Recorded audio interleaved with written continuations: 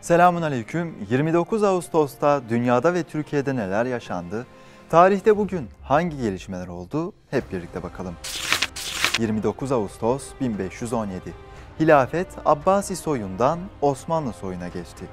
Bir yıl önce Halep Ulu Camii'nde fiilen halife olarak lanse edilen Yavuz Sultan Selim, Ayasofya Camii'nde yapılan bir törenle son Abbasi halifesi 3. mütevekkilden Mekke ve Medine'nin hizmetkarı ünvanını devralarak bütün Müslümanların dini ve siyasi lideri oldu. 1521 Osmanlı ordusu Belgrad'ı fethetti.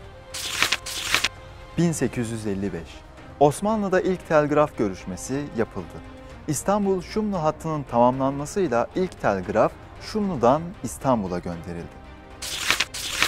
1947 ABD'li bilim adamları nükleer güç için plütonyumu parçalamayı başardılar. Yapay olarak elde edilen plütonyum dünyada bilinen en toksit yani en zehirli elementtir. 1966 20. yüzyılın İslami düşünce önderlerinden Seyyid Kutup, Mısır diktatörlüğü tarafından idam edilmek suretiyle şehit edildi. Cemal Abdülnasır'a düzenlenen 1954 tarihli suikast girişimi nedeniyle birçok Müslüman kardeşler üyesi gibi o da tutuklanmıştır. Yargılama sonunda Seyyid Kutub'a 15 yıl ağır hapis cezası verilmiştir. Zindanda Kur'an tefsiri Fizilalil Kur'an ve yoldaki işaretleri kaleme almıştır.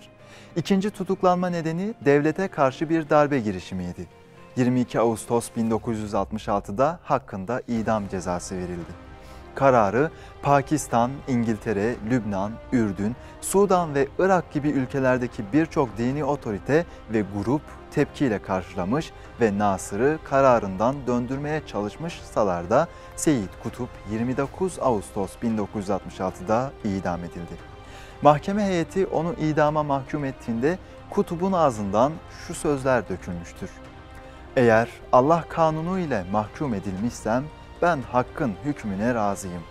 Eğer batıl kanunlarla mahkum olmuşsam, ondan çok daha üstün bir düşünceye sahip olduğum için batıldan ve münafıklardan merhamet dilemem. Allah'a şükürler olsun ki 15 sene cihad ettikten sonra bu mertebeye ulaştım. Ben Allah yolunda yaptığım iş için asla özür dilemem.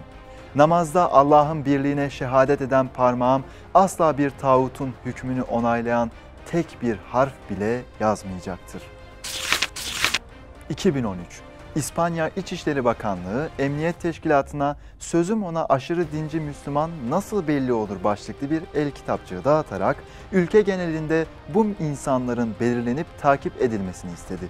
Oluşturulan el kitapçığında güya aşırı dinci Müslümanların robot çizimleri yapıldı ve buna uyan kişilerin hemen takip altına alınması istendi.